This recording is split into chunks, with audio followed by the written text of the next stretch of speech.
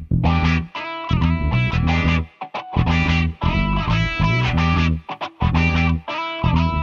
everybody, welcome back to the Rustic Styles uh, YouTube page. My name is Scott Schaefer, owner of San Juan Carpentry, and today we're going to be building uh, a couple of lamps. Um, what I've got here is a really cool piece of burl aspen, and I'm going to make two lamps out of this using the burl as the base of the lamp. I'm going to get it all nice, cut it in half. We'll have two lamps that'll kind of match each other, so should be fun. What I'm going to do to start off with is uh, we're going to cut it down to length. What I'm going to do is I'm using a, a drill bit, a long drill bit, to drill my hole for the wire. And what I want to do is I want to make sure that the post of the lamp is short enough that the drill bit will go all the way through. Alright, so let's get this guy cut.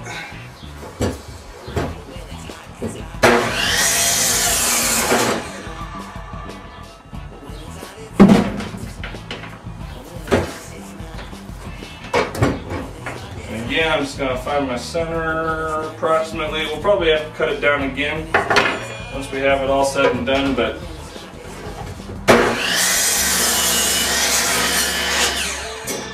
so get us off to a good start.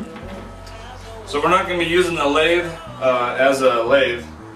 We're just gonna use it as an assistant to me. This is my assistant. His name is Lathe.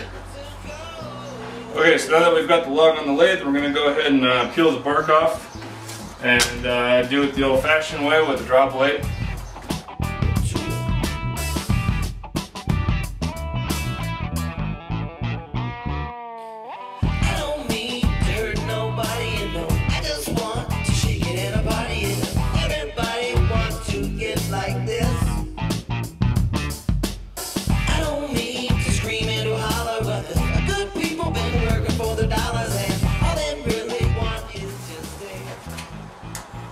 Okay, so we've got bark off pretty good here. So you can kind of see now what the lamps are going to start to look like. Uh, looks like one lamp is going to have a lot of this going on because the middle is going to be right about here. So one lamp's going to have this going on. That'll probably be the, the front facing part. And then the other lamp is going to have this, the big gap going on. And it'll be facing forward that way. So kind of see what they're going to look like. So they may not match as well as I had hoped because originally I thought that, you know, they'd split it right here, but there's a lot of burl right here that I want to try to take advantage of. So this is going to be a cool piece. So now we're going to use the sander. I'm using 80 grit.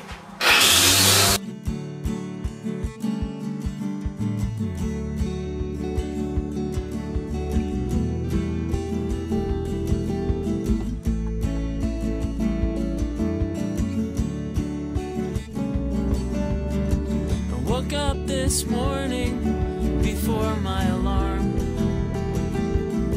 I didn't feel like going to work, so I.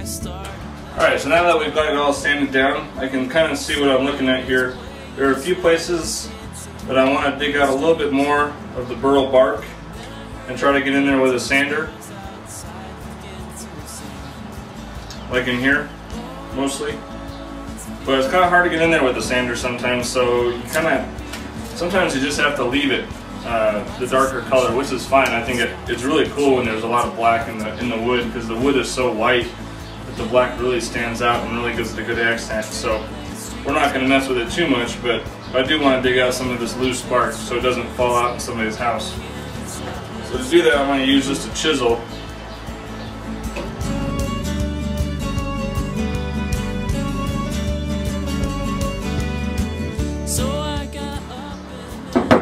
I'm going to go over it again with uh, sandpaper.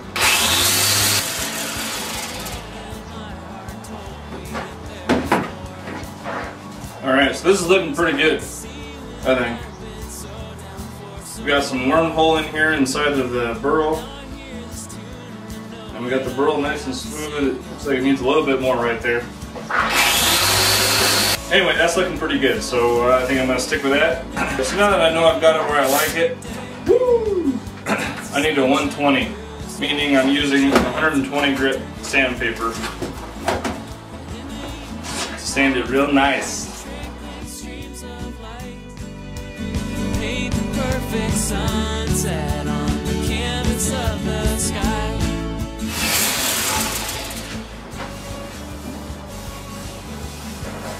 Alright, I'm happy with it. I'm happy. So, alright, now we're going to take it off the lathe, flip it over, uh, cut it in half, drill our holes, continue on from there. The cut in half is a little uh, tricky because it's not going to fit in the chop saw. I don't think. It might. You could try it. Yeah, I'll go ahead and chop it in the chop saw then. I think that'll work. So I've got approximately 34, which is going to be 16. No, it's not. No, it's not. It's to be 17. Math is kind of important when you're doing carpentry work.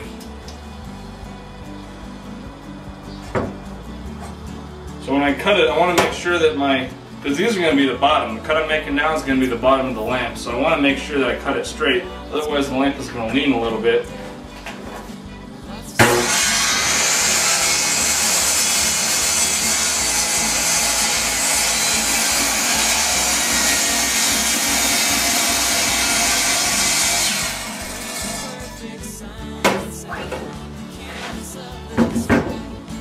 Okay, now I'm going to cut it the rest of the way with uh, a, sawzall. Her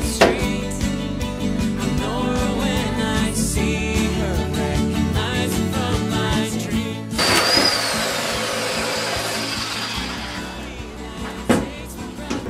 So this is going to be our lamps right here. And they are the same height, so that's a plus. Alright, so now that we've got them all flattened out and everything, going to go ahead and drill our hole. Now it's really important that we make sure that we get the hole straight down.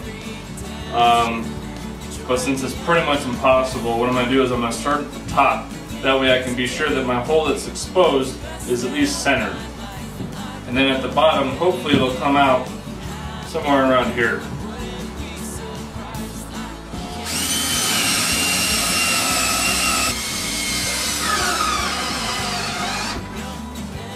There we go, just barely popped out, perfect length.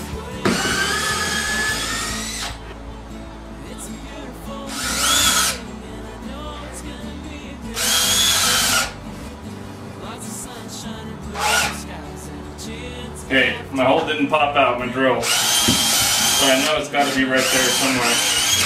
So I'm just going to move it out of the drill a little bit to give myself a little bit extra length. You don't want to do that if you don't have to.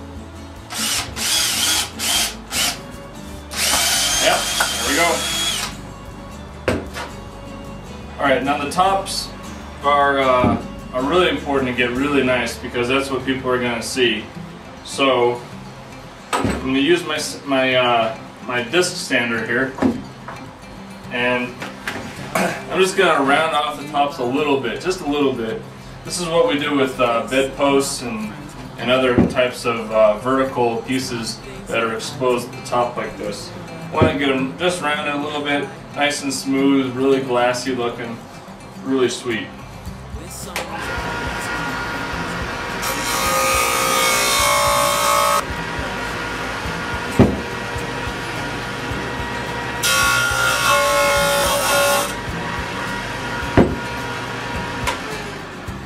Okay, and now we'll just use the normal sander for the rest of it.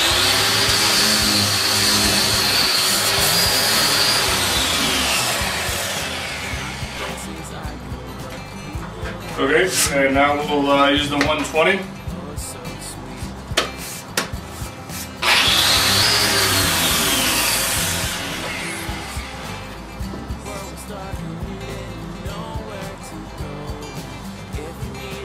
When you make these, you want to make sure that the uh, all the all the in grain, because what you have is the grain is going this direction. So typically, when you cut off a log like that, it's going to be really kind of like sharp and like I don't know, raggy looking uh, with all the grain, the loose grains uh, sticking up. So you want to make sure you get all that smoothed out real nice.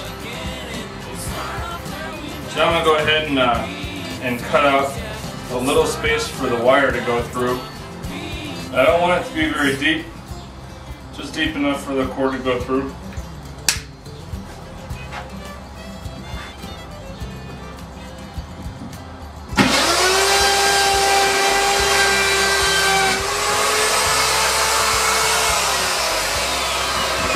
So there's for my cord.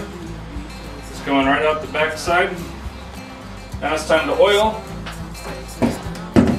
So we're gonna oil them and then we'll take a short break while they dry and we'll come back and put all the parts back together. It's gonna look really pretty, I bet. That's what I think is gonna happen. Oh yeah. Look at that.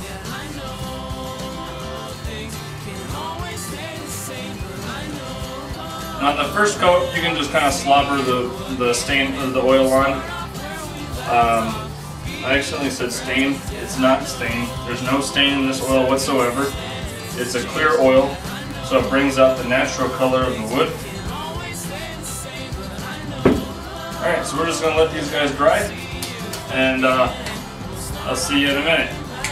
Alright, so it's tomorrow, and uh, my lamp should be dry now. I actually put on two co coats of oil. I didn't show you the second coat because, quite frankly, watching oil dry is a lot like watching paint dry. So I decided to spare you that boredom. Uh, but anyway, we got some nice looking lamps here, so now we're going to put the electrical parts in them. Uh, it's not real hard to do the electrical parts, you just gotta, I don't know, it's kind of common sense, I suppose. So this is our plug end, I want to start off with sticking this through the other way. Like I said before, you can get these kits at any hardware store. There we go. Alright, so now that we got our wire in there, we're going to put our yoke on it. It's, uh, it's basically like a tube with threads on the outside. So what's your first love or your first date?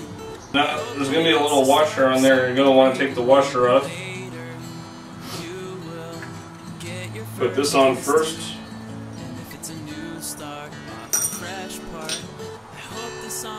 To heal your heart. Maybe this time will be the time when all your dreams. I'm going to put the socket on.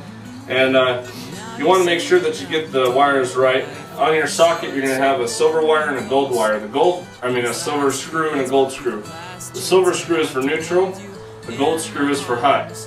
Your wire is going to have ribs on one of the wires. So you have two wires here, one's ribbed along the side, all the way down. That's your neutral. So you want to put that with the silver uh, silver screw. Now we're going to slip this over it, and that'll lock everything into place.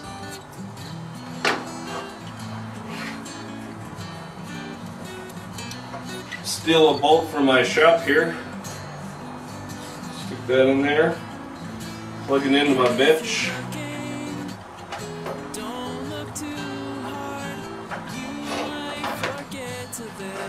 And voila, we have a light. Bright light. It's a beautiful light. Look at that light. And the wire, you can just go right out the end and you can either put a staple on there or, or, uh, or just leave it loose and the homeowner can just stick it in there when they set it down. It's whatever you want to do. There we go, we got a nice, beautiful uh, burl Aspen lamp. So now we'll do the other one. Are you ready? Three, two, one. Bam! Another lamp. Done. Alright. That was pretty easy, I think. Maybe too easy. So this is still a little bit damp, uh, so when it fully dries out, I'm probably going to want to just maybe go over it one more time with a little bit of sand, really, really fine sandpaper, and then with a, a rag, just go over it again one more time with the oil, just to polish it up real nice, but you get the idea how to make them. Uh, oh, wait. Now it works. That's good. Didn't want to look like a fool. Alright.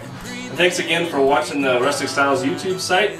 Uh, if you want to see more stuff from Rustic Style or San Juan Carpentry, go to sanjuancarpentry.com and uh, we have an email link there and we have pictures and photos and videos of all sorts of different things. So check it out and thank you again for watching.